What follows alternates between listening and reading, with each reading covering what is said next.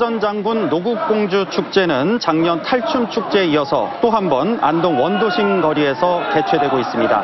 권기창 안동시장 나오셨는데요. 축제 개편의 의미와 방향에 대해 조금 더 이야기 나눠보겠습니다. 시장님 어서 오세요. 어서 오십시오. 반갑습니다. 반갑습니다. 예, 그동안 탈춤 페스티벌과 함께 열렸던 민속 축제를 분리해서 네네. 사전장군 노국공주 축제라는 이름으로 올해 처음 개최하게 네. 되는데요. 축제를 이렇게 개편하신 이유가 궁금한데요. 안동은 놀이 문화가 상당히 발달이 되어 있습니다. 그 중에서 대표적인 것이 남성 중심의 차전놀이와 여성 중심의 노다리 밟기입니다.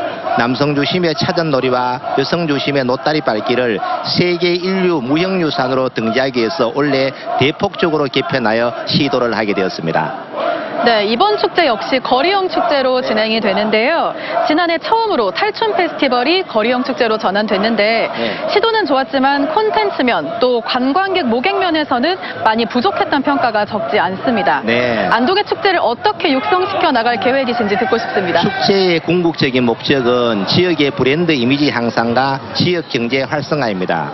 지금까지 축제는 지역의 브랜드 이미지 향상에는 기, 기여했지만 축제가 강변에서 개최됨으로 인해서 도심의 심각한 문제를 이야기하게 됐습니다. 작년에 도심으로 옮겨서 지역 경제 활성화에는 기여를 했는데 공간의 부족 등으로 여러 가지 문제가 나타난 것이 사실입니다. 그래서 올해는 그 문제점을 보완하기 위해서 공간을 두 배 이상으로 대폭적으로 누렸고 부족한 콘텐츠 부분을 상당히 많이 채웠습니다. 앞으로 이러한 문제를 조금씩 개선해 나간다면 대한민국의 민속 축제의 대표 축제로 거듭 태어날 것으로 생각이 됩니다. 네, 최근에 안동의 아, 굵직한 수건 사업이 좋은 결과로 네, 이어지고. 있습니다.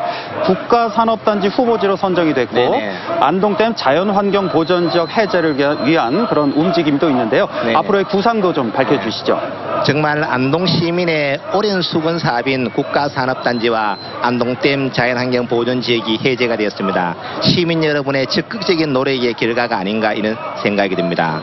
바이오 생명 산업단지는 약 4조 원이 투입되는 사업으로 생산 유발 효과는 8조 원, 고용 유발 효과는 3만 명입니다. 앞으로 이 사업이 성공적으로 유치되기 위해서는 기업과 연구 인프라를 강화하는 것이 무엇보다 중요합니다. 유치가 되었다는 기쁨에 만족할 것이 아니라 지금부터 안동시의 새로운 발전의 성장 동력으로 자리매김하기 위해서 최선을 다해야 될 것으로 생각이 됩니다. 특히 자연환경 보존 지역은 지금까지 안동댐은 안동 시민에게 애물단지였습니다. 이제 안동댐이 우리 시민에게 보물단지로 거듭 태어날 수 있게끔 규제가 풀린과 동시에 우리에게 어떤 혜택을 줄 것인지를 차근차근 고민해서 실천해 나간다면 우리의 꿈이 현실로 되지 않을까 이런 생각을 가져봅니다. 네, 지금까지 권기창 안동시장과 함께했습니다. 오늘 말씀 고맙습니다. 감사합니다.